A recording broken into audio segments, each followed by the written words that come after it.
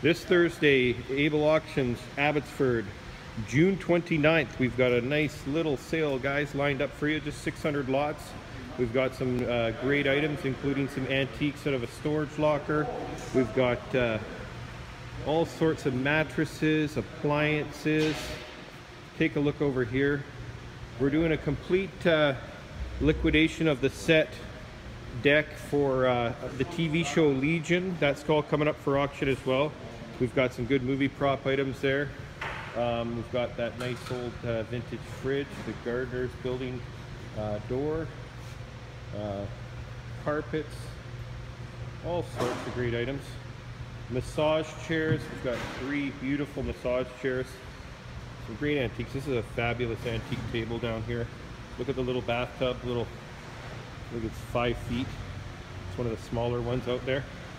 Um, right over there, I'll take you through. We got this nice pearl drum set.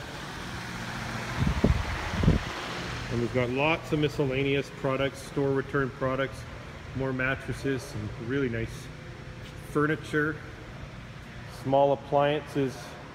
We got some Gotham steel pot sets.